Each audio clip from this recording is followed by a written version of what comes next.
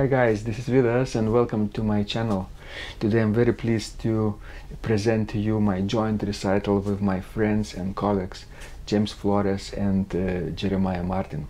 James is from Australia and uh, Jerry is from the United States. So I will play now first uh, and uh, they will follow me with wonderful programs on different sample sets. I will present my program on the sample set by Piotr Grabowski uh, from uh, Chorzów, uh, Święta Jadwiga Śląska, very large and important uh, Polish 19th uh, century three manual instrument. And let me start uh, my program with Nun danket alle Gott, or Now Thank We All Our God by Sigfrid Karg-Elert. This is a magnificent entrance, uh, pompous march triumph, triumphale, um, and uh, you can imagine being in that church uh, in Chorzów yourself. Hopefully, uh, it will be very, very similar as in reality. All right. So, Karg-Elert, and now thank we all our God.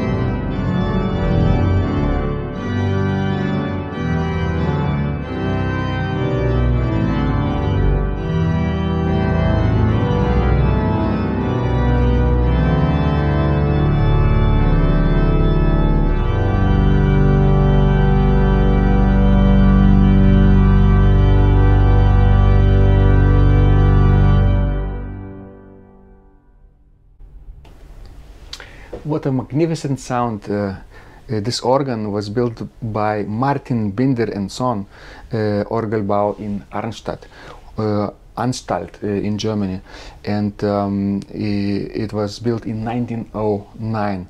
It's his 170 opus. you can see uh, now uh, the specification of this organ on the screen and it's very very suitable for German romantic obviously music and uh, my program today will feature German romantic organs and German romantic uh, compositions all right so now uh, let's move on to another romantic composer from Germany, Josef Rheinberger, whom I admire a lot, uh, but I haven't played much of his music. Uh, only recently I started playing some of his uh, compositions, and one of them is Arioso, and another is a canzonetta from Opus 156. You will hear them right now. Um, this will feature a little bit different registrations, much uh, softer, but I hope you will enjoy it nonetheless because the harmonies are very lush and romantic.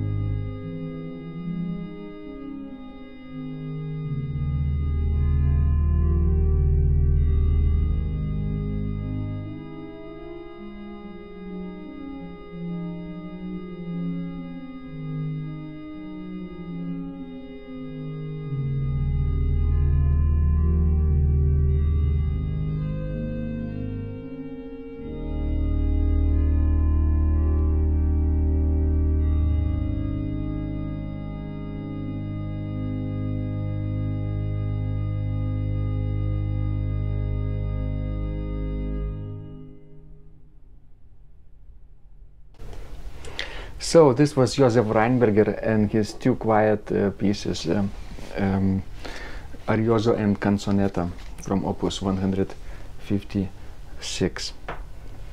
Now at the end of my program uh, I will play Mendelssohn, Jos uh, Felix Mendelssohn and his third Prelude and Fugue, Opus uh, 37. This was written rather early in his life and um, it's, it's pretty uh, a classical structure and uh, mildly romantic harmonies.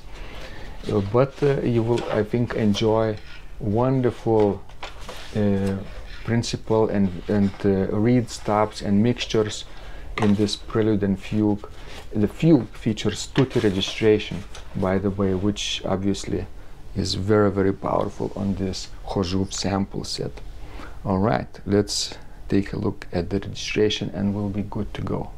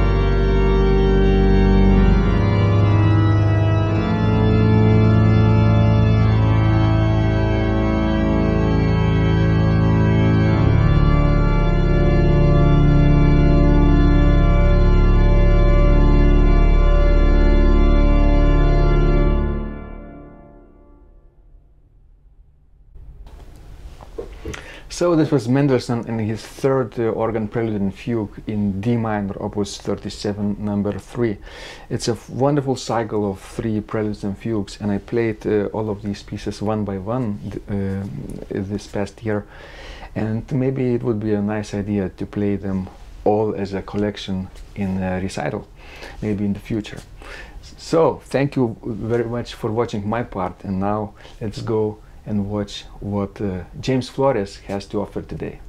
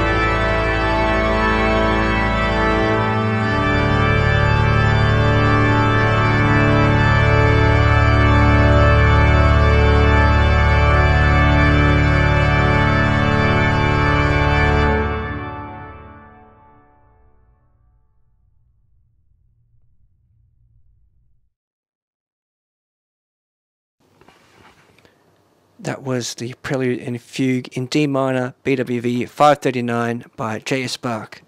And I got myself there, I got myself to the end relatively unscathed. Excuse me, I'm going to just sneeze.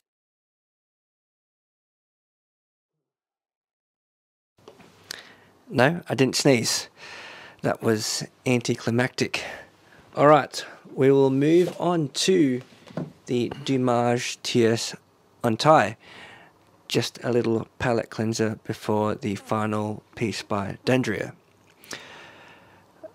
My friend Callum Knox, uh, about a month ago, performed um, the du Mage the entire, the entire suite, and it reminded me of how lovely these little movements are. So I'm going to play my favorite movement, which is the tierce en taille.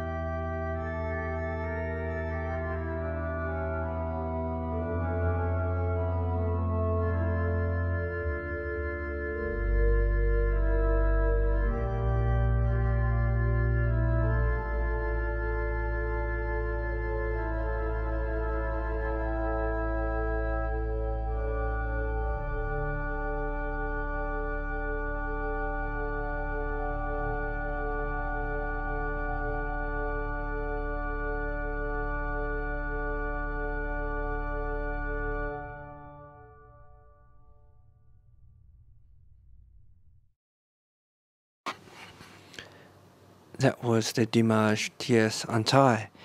And it works very well, I think, on this uh, Scottish Church instrument in Melbourne. Uh, it has the right has the right colours for it, uh, but I do use a 16 and 8 foot in the pedal. It's not really the correct French classical registration, uh, but of course, on a French classical organ, the 8 foot stop on the pedal would be of a much wider scale, uh, whereas you know the modern instruments um, are not designed that way. So that's why I use a 16 foot in the pedal here. And we have the um, the tierce obviously on this manual um, against 8 foot uh, flutes, uh, bourdon. I feel like I'm going to sneeze again. And I have the tremulants going everywhere. Um, gives that really ethereal feel. All right, the last piece in my program is the Dandrieu Ophélie et Fillier. It's another French classical piece, but it's very exciting, and I'm sure you'll recognize the tune um, within the first four bars. So I'll play that now.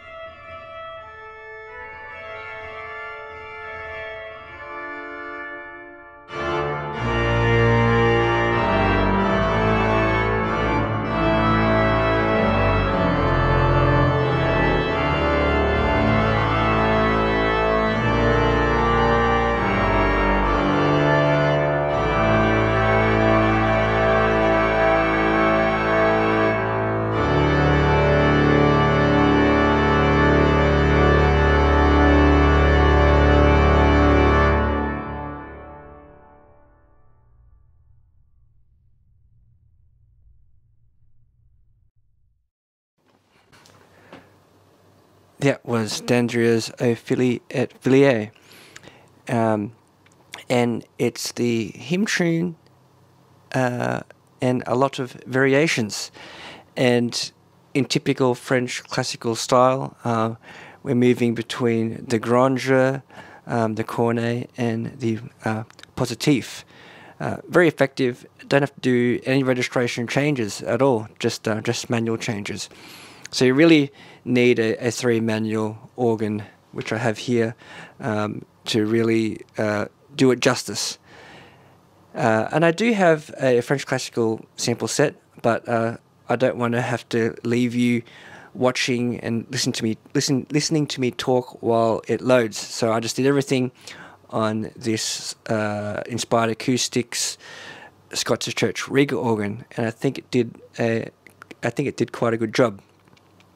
Uh, the sample set is quite dry, so I've added um, a reverb. I can't remember which one it was. Oh, let's see if I can quickly go into it. Hopefully, hopefully this doesn't stuff up the recording. Um, it's a Sonus Paradisi Impulse Reverb, the Praha Havel. Sorry if I pronounced that wrong. Um, it's uh, six seconds of reverb. But I do, not having been to the real Scottish church uh, as of yet, um, but I have heard recordings online and it does have quite a good amount of reverb. So there we go.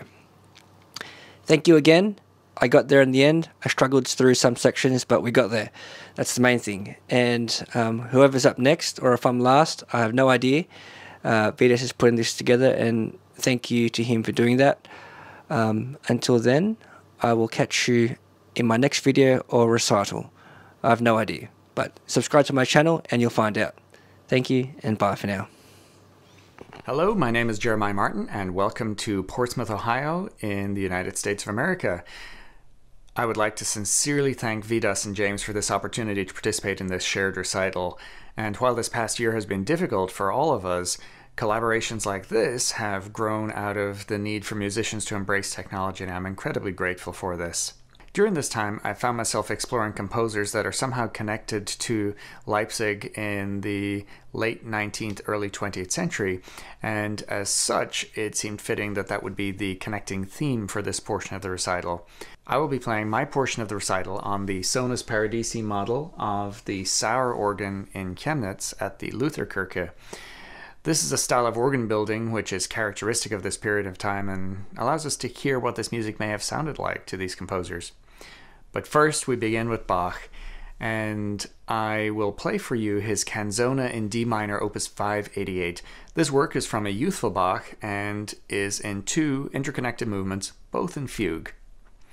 Listen for the secondary theme, which follows the notes of the chromatic scale, almost like a sigh.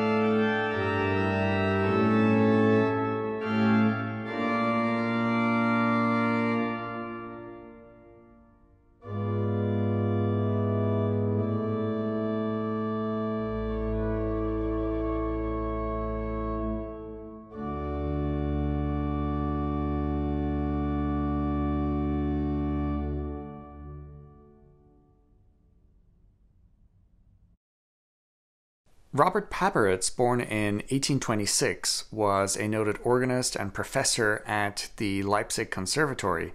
He held a position at the Nikolaikirche, and his students learned about chromatic harmony and he encouraged innovation. His choral studium Opus 15 in many regards follow the pattern laid by Bach in the Orgelbüchlein, but as you will hear feature unexpected twists and turns, and I've chosen two to share with you. The first, Ich genüge mich an meine Stände, asks for gentle registration and features the cantus firmus against a delicate filigree. The second, O Traurigkeit, O Herzeleid, O Darkest Woe, O Heart's Pain, is based on a hymn written for special use on Good Friday. Capturing the emotion of the burial of Jesus, this stunning chorale features the cantus in the pedal at four foot. Meanwhile, as was common for Papperitz, he asked for dark colors in the manual and has clearly written the left hand to avail of the 16 foot pitch. And so, I give to you two chorales by Robert Papperitz.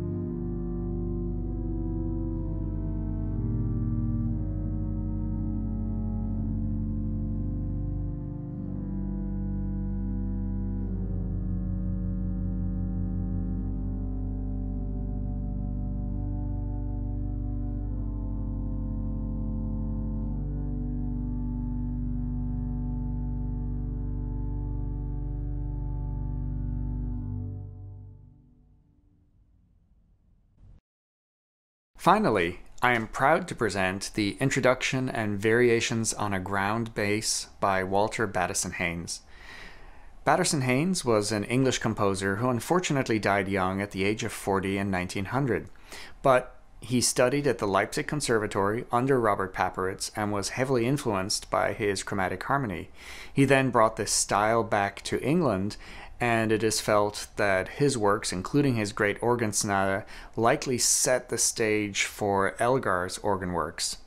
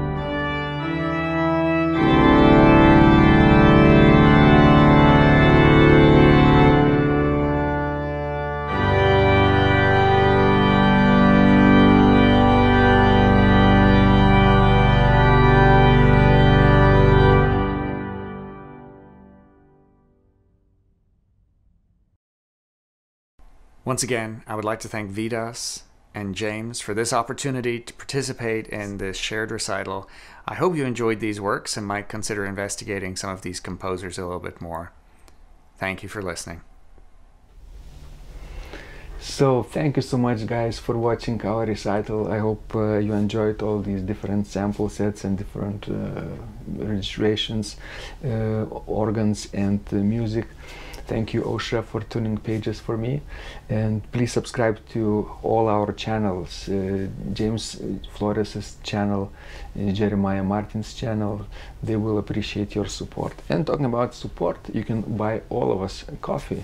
And you can find uh, uh, links in the description of this video to our donation buttons and uh, PayPal and Patreon communities and Buy Me a Coffee communities as well. So I'm looking forward to your future uh, collaborations with uh, Jerry and uh, James and uh, I catch you online in the next uh, video or recital very soon. Bye bye.